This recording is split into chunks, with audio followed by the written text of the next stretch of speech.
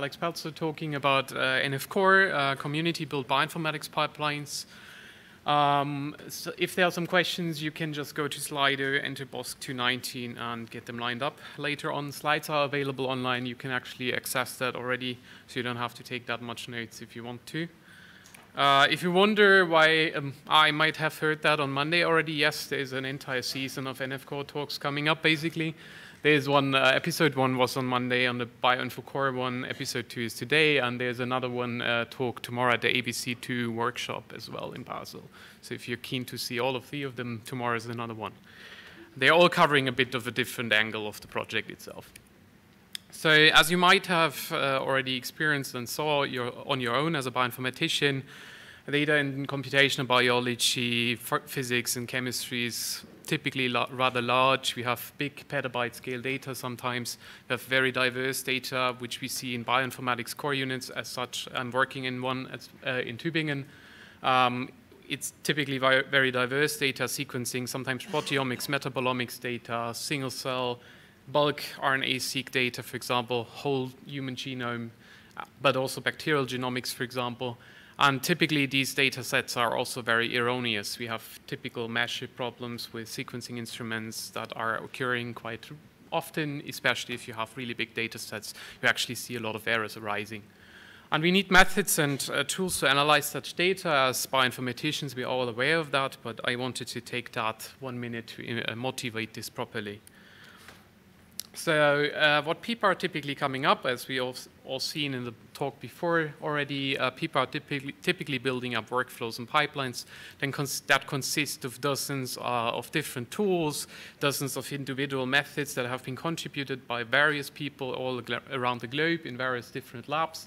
And this typically results for complex or bigger projects in really complex dependency trees and configuration requirements. So if you have a look at uh, this is actually from uh, Steinbiss et al. paper, Companion Web Server for Annotation Analysis of a Parasite Genome, which was published in NAR 216. So this is the dependency graph of that analysis pipeline, basically. So this looks like a huge mess. It's complex, it's difficult to maintain, of course, and making this easier is actually one of the core, core things that bioinformaticians typically tend to work on. Also, another thing that came up in the last years, especially if you're really trying to build on top of bioinformatics software that has been built by other people, what you typically also experience is a problem in terms of installation of software, installation of software across multiple systems, cloud providers, making installation of software bioinformatics tools easy to applicable to local clusters, HPC infrastructure, cloud providers, and a local workstation that your collaborator might have, for example, for some reason, and they want to do and uh, run their own analysis. And there was a nice paper, actually, by somebody who took a bit of an effort to um, benchmarked this a bit in terms of a meta benchmark, eh, basically, just looking at software, whether they can be installed and easily installed on systems like this. And they found that about, about 51% of the software they tried to install which was kind of a more or less random selection of bioinformatics tools, were difficult to install, and 28% of them, the tools failed to be installed at all. So, which is kind of an alarming thing. It's not something completely new for somebody working in bioinformatics, I guess. Most people will kind of have a gut feeling about this, that this is reality, kind of. But still, it's, it's not something we should be too happy about, actually. This actually comes into play, especially if you have really large projects, which are nowadays much more common than they have been like 15 years ago.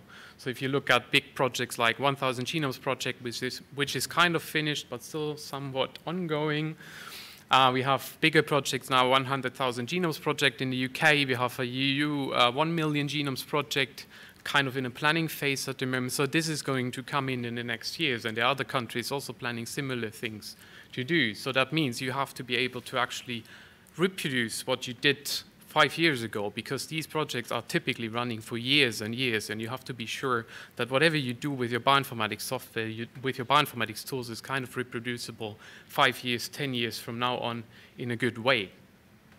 So to sum this up, many paper results are really hard to reproduce, and that's actually kind of not just my experience, but that's probably what a lot of people are actually experiencing in their everyday bioinformatics work. So this is what you typically would see. I found this on Twitter a couple of weeks ago, which is, I think, summarizing pretty much what I talked about in the last two minutes. Um, so people typically find a nice method, they want to try that, they want to try a pipeline or some fancy new method they found somewhere on their specific set of data they generated in their lab, want to integrate that with something else published, and that's what you end up. You have this huge mess of software yeah, that doesn't work as expected, for example, for some weird reason that you just experience. So some, some would sum this up to be a requirement for fair data, fair data uh, sharing, and also fair data analysis. So if you can't make sure that your methods are reproducible, if you can't make sure that your methods are also interoperable between systems, for example, then you can't really approach this fair challenge. Yeah. So with that in mind, I want to give another two minutes to introduce Nextflow. So some of you might already have heard about Nextflow. Nextflow started as a domain-specific language, which is kind of a Java Groovy-based uh, domain-specific language, which allows for fast prototyping of pipelines. You can enable, you can basically compose individual tasks and processes quite easily with it. It can also be used to parallelize certain tasks uh, across clusters, for example, across cloud infrastructure if you want to. It's quite nice that you can also self-contain individual tasks. So you can have a Docker container, for example, bundling software dependencies that you have for specific task or for the entire pipeline itself. And the isolation of such dependencies re is relatively easy compared to what we've been doing before we actually came up with uh, using Nextflow. And you can keep these containers, of course. That's the easy part about it. So it's completely automated. You can automate the entire pipeline structure that you want to have. You can parallelize everything. It's quite reliable, to be honest. So we've been using it in the core unit now for quite a while. A lot of others are also doing the same. And the reports are, in general, very, very good. So it's very reliable, even if really large um, large workflows and large data set sample sizes. So we had, been, had people that were running NF-core pipelines, RNA-seq pipelines on tens of thousands of samples simultaneously on large cluster or cloud instances, and that worked almost perfectly. It's very easy for others to learn and to run. So if you, even if you're not an experienced developer, it's really easy to learn how to run an Nextflow pipeline. We have a lot of project managers who are not actually working on developing these pipelines, but are actively using the ones that have been developed by people that are actively contributing to NF core pipelines. And the results are 100% reproducible if you follow some certain kind of best practice, yes. So it's very nice that you can also uh, abstract the way uh, infrastructure in a very nice way.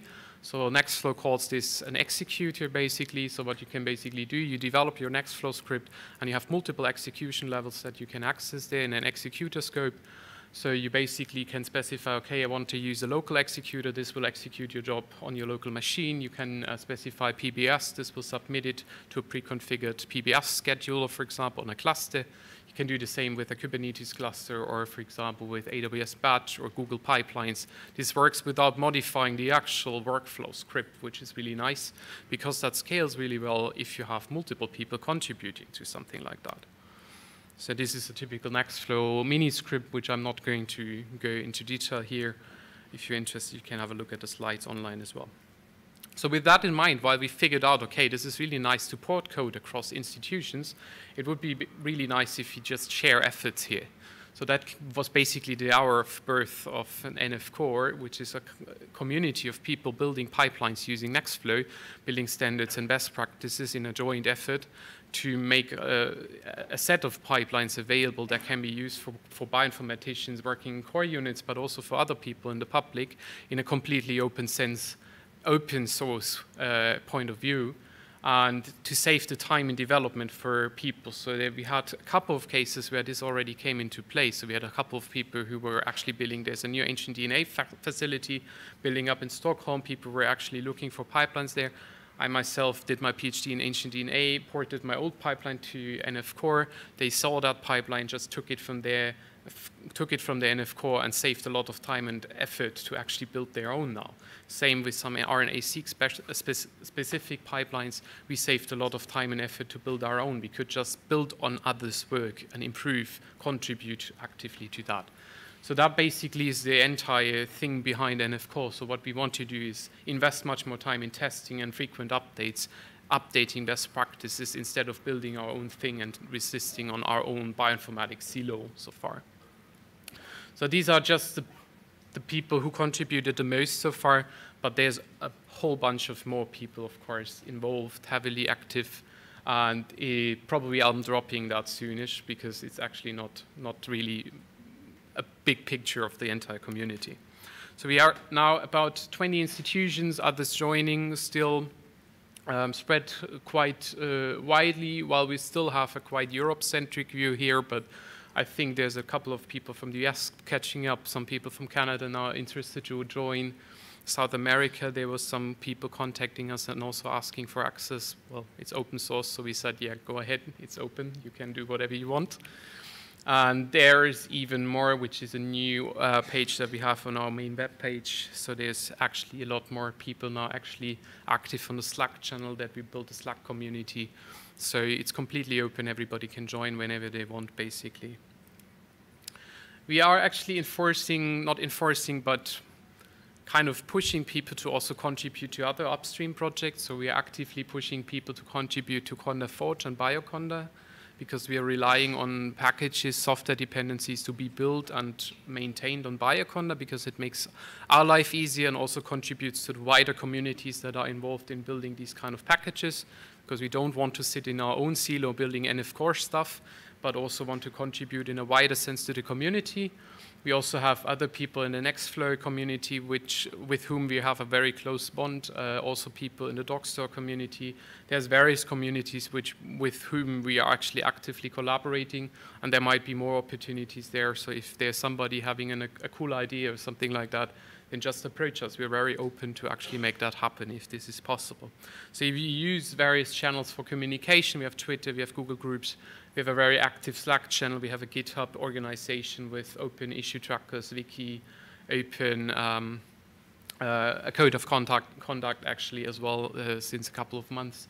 And we actually, actually encourage everybody to just join and try out pipelines, contribute whatever they can, basically.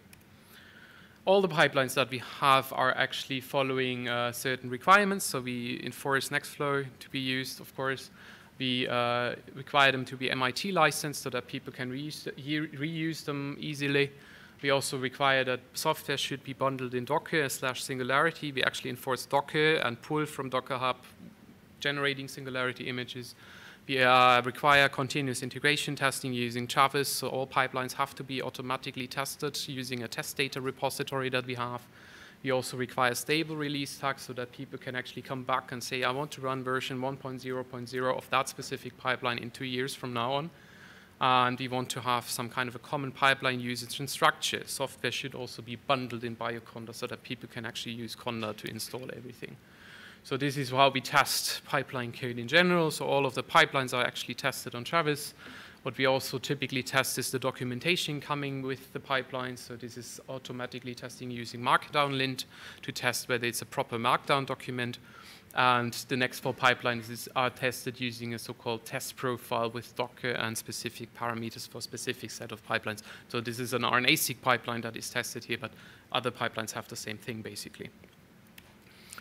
Um, yeah, basically that is something that I already explained. So that's the general infrastructure that we're building. We have code management happening on GitHub, building and testing on Travis CI, software dependencies via Bioconda and Docker Hub. And that goes all into NF Core, and then we basically are able to run our workflows on HPC systems or cloud infrastructure if you want to. I have two small kind of demos. So we are not kind of just enforcing people to follow these requirements. We also have a templating engine. So if you're intending to bring your own pipeline to, buy, uh, to NF Core, you can rely on NF Core uh, tools. NF Core tools is a set of Python tools that can be used to create a skeleton code of your pipeline, which follows current best practices. So if you click on that, if you download the tool using pip or conda, and you install that, you can just get a skeleton code for your pipeline, which already follows the best practices with a lot of hints and documentation additions so that you can actually build your own pipeline from zero to 100 in a couple of minutes, hopefully. already following all of these best practices.